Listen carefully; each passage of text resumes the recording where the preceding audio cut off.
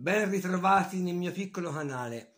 Con questo video voglio presentare una borsina Milwaukee molto compatta, piccola, ben capiente, dove è possibile stivare dentro tutto l'occorrente per il primo intervento, cioè tutti quegli strumenti secondo me indispensabili da tenere in una borsina da casa, da macchina, dal lavoro, per poter fare subito i piccoli interventi diciamo di emergenza o di routine tutto sta a portata di mano, questo è quello che voglio portare all'attenzione, perché a me personalmente piace che tutti gli strumenti dal lavoro di cui posso aver bisogno siano a vista, ben riconoscibili e che non debba ravanare dentro le tasche per poter prendere ciò che mi serve.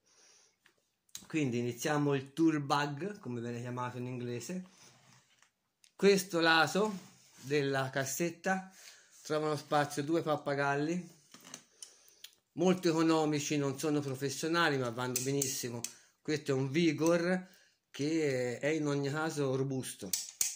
Non è preciso è proprio due pezzi di ferro incastrati ma il suo lavoro lo fa. Il suo compagno è più piccolo per l'evenienza anche per spazio e per peso uno è grande e uno è piccolo. Perché due? Perché il pappagallo spesso e volentieri si adopera in coppia, quindi ce ne vogliono due. Stanno qui, si prendono e si ripongono facilmente. Qui abbiamo fascettine di metallo, quelle classiche per i tubi della lavatrice. In casa è bene averla a portata di mano, qualunque cosa, lavatrice, lavastoviglie o altro scarico, si fissa con questo anche la sistola fuori de, del giardino vanno benissimo queste si usano anche a fantasia per altre cose. Qui trova spazio anche lubrificante VD40 indispensabile. Sta qui nel suo alloggio sta preciso è fantastico. Qui troviamo nastro isolante e teflon anche queste due cose indispensabili parte frontale tutta la parte dei cacciaviti in alto qui abbiamo il PH2 il cacciavite più usato di tutti. Questo è un Setaform è un marchio se non ricordo male anglosassone. Poi non so se dove vengono prodotti ma sono dei buon cacciaviti io l'ho messo al lavoro ha lavorato diverso tempo presenta segni d'usura perché chiaramente ha fatto il suo lavoro, però non si è mai deformato, non si è rotto, è un buon cacciavite, ha una buona presa, la gommina sopra è veramente incastrata bene, anche volendo non viene via.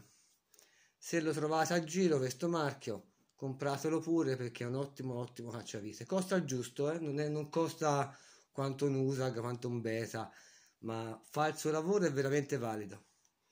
Sta qui, si prende, e si ripone con facilità. Qui trova spazio il multibit, ci tengo montata la T20, la Torx 20, è la misura abbastanza usuale che possiamo trovare negli elettrodomestici in casa, in qualche mobiletto. E in ogni caso poi questo può ospitare qualunque tipo di inserto. Non è il massimo perché ha questa parte che dà noia nel... però eh, all'occorrenza va benissimo. Anche questo sta qui si prende e si ripone senza che dia noia a tutte le operazioni. Il cacciavite a testa piatta grande 150 150 cm di lama credo si chiami lama questa parte qui. E, oltre al suo lavoro per le viti così come scarpello come leva come da demolizione, un cacciavite da demolire, da, da usare in tutte le occasioni. Un Maurer Plus non dovrebbe essere un cacciavite professionale, ma non sono malaccio. Costano poco, si trovano un po' da tutte le parti, quindi anche questo fa comodo, indispensabile. Sta qui, si prende e si rimette. Qui trova spazio il multibit della Milwaukee fatto vedere più volte in altri video. 7 cacciaviti in uno perché ha la prolunga lunga quindi è facilmente usabile come cacciavite classico. Si può cambiare la punta mettere quest'altra. Io ci tengo fissa la T15 Torx 15 è un altro inserto della famiglia Torx che troviamo spesso a giro. Cricchetto. È fantastico. Tutte le punte inserite qui non cadono neanche a volerlo perché spesso i multibit hanno questa parte qui molto lasca si perdono le punte. Questo invece addirittura è duro per toglierla. Anche questo comodamente qui e comodamente prendibile usabile un altro ph2 più lungo 15 cm di lama beta un buon grip. Diciamo che il mio preferito. Quando non ho problemi di spazio il primo cacciavite che vado a cercare è questo. Io trovo che con la lama lunga abbiamo molto più controllo nell'avvitare le viti particolari. E come dicevo prima è uno dei miei preferiti sia per come si impugna che è bella robusta è agile? Io chiamo agilità questa cosa qui dei cacciaviti questa è la robustezza in caso di bisogno. È bene che il manico sia abbastanza grande per ospitare tutta la mano. Però quando si deve avvitare in particolari condizioni mi piace che il cacciavite sia agile per fare questo movimento. E questo è il mio preferito. Trova spazio qui si prende si rimette senza problemi. Un giratubi dell'otto un giradadi scusate. È comodo avere il giradadi dell'otto a cacciavite perché il dado dell'otto in casa se vogliamo fare qualche manutenzione spesso e volentieri la troviamo in misura. E questo è della beta robustissimo è veramente un pezzo di ferro. Io l'ho usato in torsione, in leva, anche come martello per rompere qualche cosina. Qui mi si è rovinato perché stupidamente l'ho preso nel pappagallo per fare tipo una chiave, non ci ho messo niente a protezione e me l'ha strappata. A diversi anni ha lavorato tantissimo ed è un ottimo, ottimo ferro per gli attrezzi. Ferro perché è proprio un ferro. Trova spazio qui non dà noia a niente, è fantastico. Qui abbiamo un cacciavite piano per contatti elettrici o per le fascette, USAG 125 cm di, di lunghezza, un buon cacciavite, nuovo, usato veramente poco. E sta qui, anche lui ha il suo alloggiamento preciso e non si muove. Poi troviamo il martello il martello ci vuole questo è il giusto compromesso per questa borsa piccolo in ferro schiodatore testa tonda robusto molto economico senza grosse pretese trovato chissà dove ma il martello è indispensabile. E anche il martello sta qui e non si muove. Qui ci sono ora mi sono venute via due. Ci sono le fascette le fascette sono una cosa fantastica. Fanno comodo ti salvano il lavoro blocchi qualunque cosa nel giro di pochi secondi. Chi l'ha inventata è stato veramente un grande. E io consiglio di tenerla a tutti a portata di mano un po' di fascette di questa fattura. Media lunghezza ci esistono in tutti i modi. Stanno qui anche queste si prendono e si ripongono senza alcun problema. Qui tengo anche le pinze a becchi lunghi e curvi della Maurer Maurer Plus oggetti che si comprano ferramenta classica mm, vanno benissimo, non è che devono poi reggere chissà che tipo di sforzo, quindi vanno bene anche di marche molto economiche. Sono progettate bene, il manico è fatto bene, la gomma è buona, assorbe bene anche la sporcizia, l'olio e dovendo scegliere fra le pinze classiche a becchi lunghi e queste a becchi lunghi ma piegati, per un motivo di spazio faccio una scelta, preferisco queste perché perlomeno ho un vantaggio se devo sfruttare angolazioni particolari. È un attrezzo utilissimo, serve per le piccole lavori, per tenere fermo una vitina, un chiodino, aiutarsi a mettere qualcosa, togliere qualcosa, recuperare una vite che va in un alloggio strano. È un attrezzo da non sottovalutare. Stanno qui, si ripongono e si riprendono senza problemi. Nella taschina davanti c'è anche un paio di forbici universali, tagliano tutto, carta, cartone, strisce di gomma leggere, guaine, non sono tanto indicate per i lavori elettrici, ce n'è un altro tipo, vedremo dopo, ma un paio di forbici robuste e buone per tagliare qualunque cosa devono essere sempre a portata di mano. Trovano il suo alloggio qui, comodissimo, si prendono, si usano e si rimettono.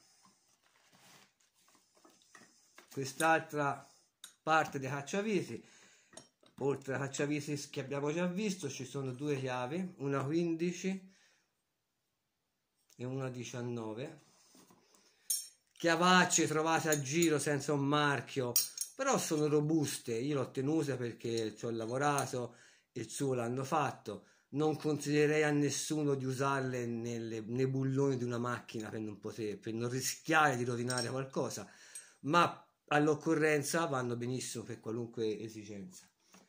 Anche queste trovano spazio qui, facilmente fruibili all'occorrenza. Qui c'è anche un seghetto semplicissimo da due soldi l'importante è comprare una lama buona perché chiaramente quando tagliamo quello che conta sono i denti della lama poi chiaramente non sarà precisissimo eh, senz'altro forse anche un po' storto non è in asse ma non è un seghetto da officina di precisione serve all'occorrenza un bullone che sporge un tubo di plastica, un corrugato, qualunque cosa, anche legno, listere di legno, un seghetto a portata di mano, al volo ci deve essere. Sta qui, si prende, si toglie, si rimette, comodissimo. Un altro oggetto utilissimo, spatolina, raschietto, semplice, economica, di plastica, Emi Tools. Le spatole sono so lamiere con un manico, quindi non è che occorre comprare chissà che tipo di spatola. L'importante è scegliere una misura adeguata un po' a tutte le soluzioni, a tutte le esigenze, né troppo larga né troppo stretta. Io ho preferito questa misura e oltre a raschiare che è il suo lavoro principale, può incidere, può pulire lo sporco in un angolino che abbiamo in casa, mm, fa, mille, fa mille utilizzi, è per mille utilizzi diciamo ed è una cosa da non, non sottovalutare. Io spesso non vedo spatole nelle borse da lavoro, ma secondo me la spatolina ci deve stare. Anche questa a portata di mano si prende, si toglie, si rimette. Vediamo di inquadrare un pino meglio, ok? Qui abbiamo le forbici. Si possono prendere con tutta la sua custodia, mettersela alla cintura se serve e poi all'occorrenza usarle modello USAG 207D sono ottime forbici affilate hanno il loro tagliacavo e fanno veramente il suo lavoro quindi custodia appesa o altrimenti solo forbici e poi si ripongono tutto a portata di mano. Pinze anche le pinze subito pronte pinze semplicissime. Blinchi. Vanno bene servono per tenere un dado all'occorrenza piegare una lamiera fare torsione. La pinza classica. Non serve spendere poi chissà quanti soldi per una pinza a meno che ripeto non siamo in officina e quindi ci serve anche pinze particolarmente robuste o più precise. Ma questa per casa per tutti i giorni, per il pronto intervento, va benissimo. Costa poco si ripone qui subito fruibile anche questa subito immagazzinabile la parte qui troviamo le chiavi di uso più comune. La 13 una snodata è una Valex non so se si legge non mi piace un granché né come acciaio né come crick però costa il giusto e per l'occasione fa il suo lavoro è fatta bene ha più snodi. Qui c'è una 13 fissa tutta rugginosa ha preso un sacco di umidità ma è sempre buona. Questo è un usag. Perché due? perché come il pappagallo le chiavi spesso e volentieri si usano insieme. E quindi almeno la 13 e la 10 averle due così. Qui troviamo la 13 la 10 questa è la 10 fissa c'è anche la 10 la 12 c'è anche la 10 snodata.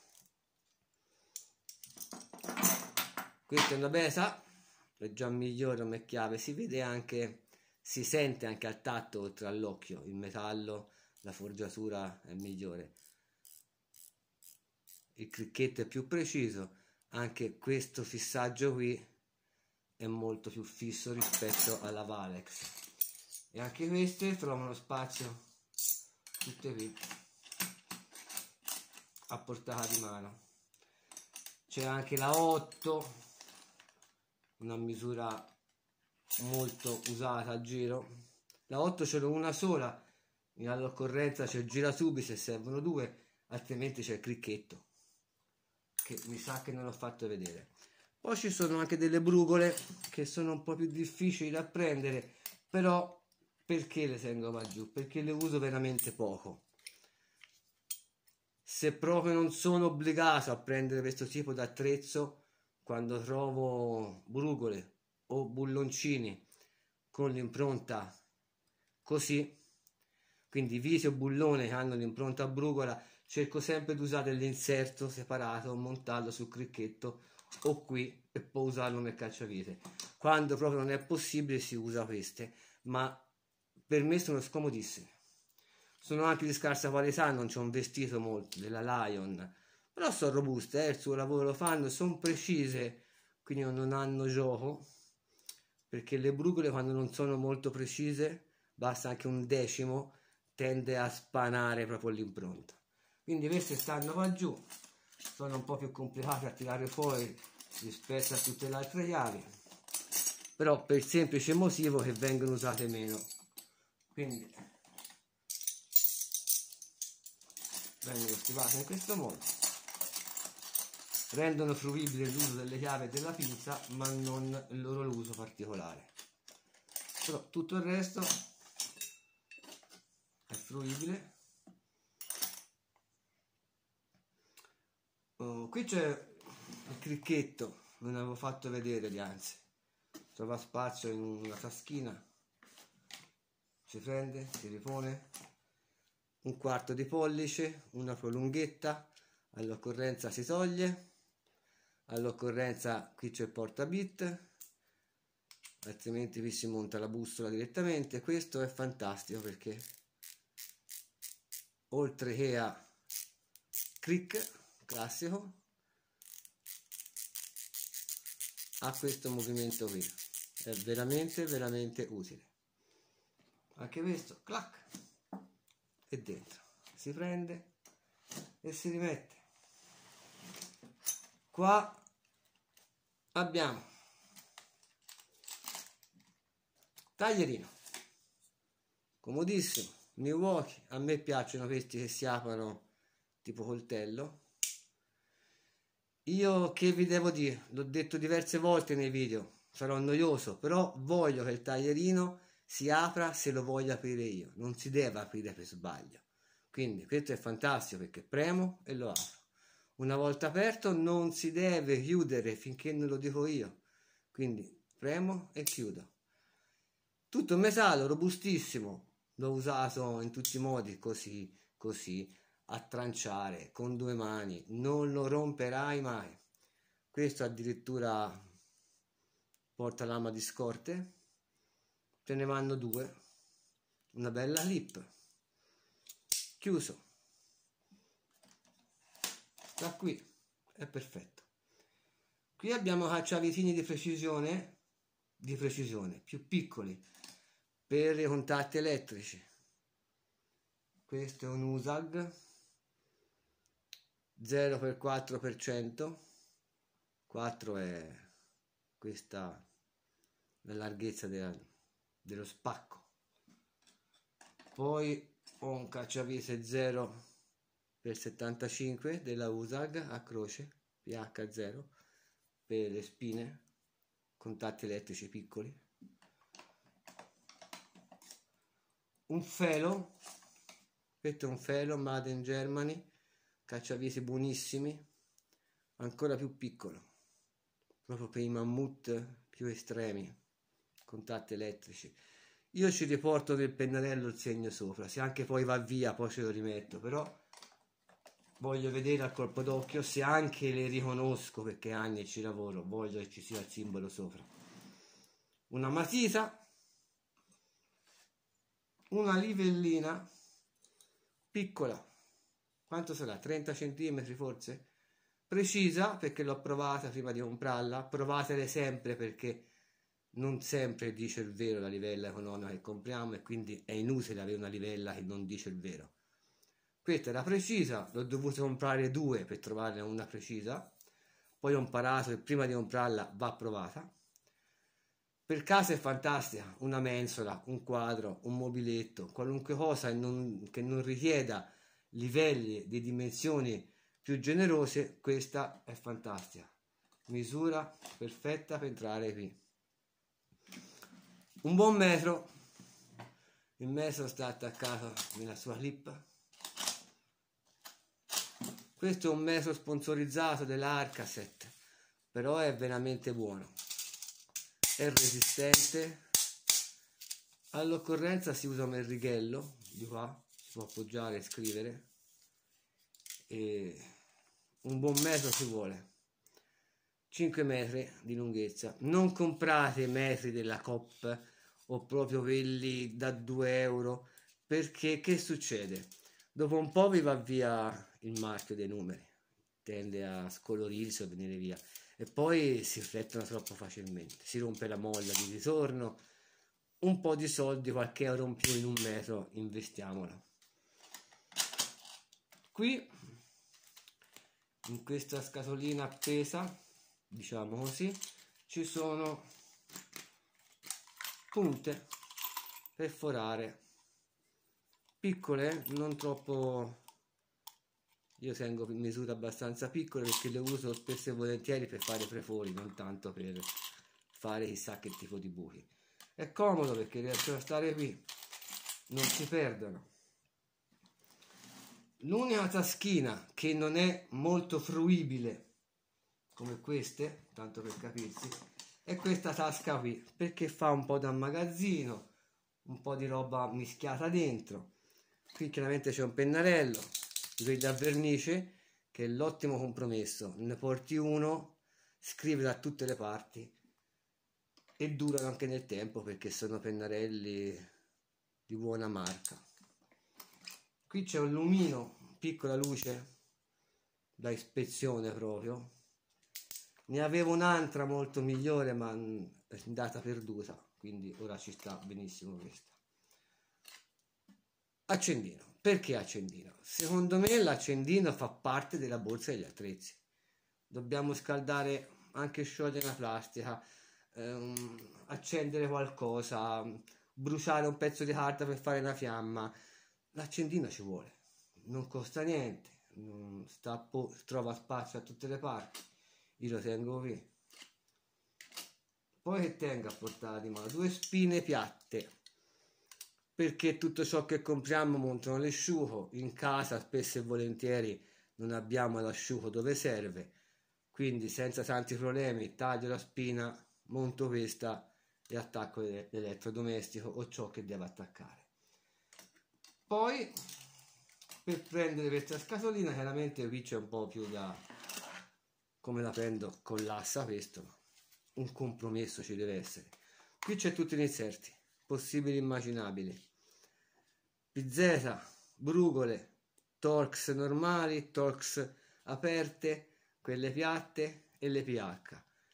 C'è il suo porta inserti da montare nell'avvisatore o dove serve buona fattura la USAG. Non si fa certo andare a raccontare. Questo fa comodissimo. E qua giù togliendo questi si accede al fondo e tengo in uno di questi sacchettini sono filtri per le sigarette sono molto robusti hanno una buona cultura si prestano bene a costo zero ci tengo le bussole per il cricchetto. Non è un sistema comodissimo però all'occorrenza ci sono. Non sono bussole di grossa qualità anzi sono proprio scarse. Alla prima occasione me ne compro qualcuna un pochino più decente. Quindi qui si sistema un pochino come ho detto prima è l'unico scomparto che richiede un po' di più passaggio insomma per prendere le cose. Però è l'unica tasca. Tutto il resto si prende l'attrezzo si ripone. Si prende la sega si ripone. Servono le forbici si ripongono. Niente va a giro ha una maniglia si può portare dove ci pare. Uno dice non ci sta l'avvisatore. No sbagliato. Qua c'è anche l'avvisatore. Milwaukee buon avvisatore 12 volt prodotto professionale due velocità ma è classico avvisatore 12 volte, non è che si deve raccontare come funziona. Trova posto qui.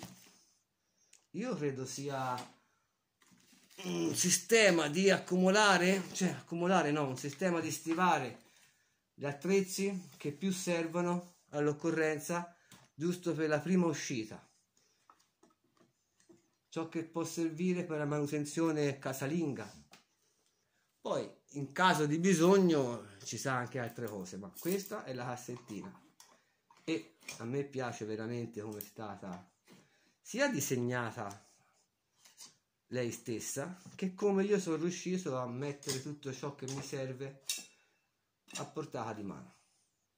Il video finisce qui spero sia stato di gradimento. Alla prossima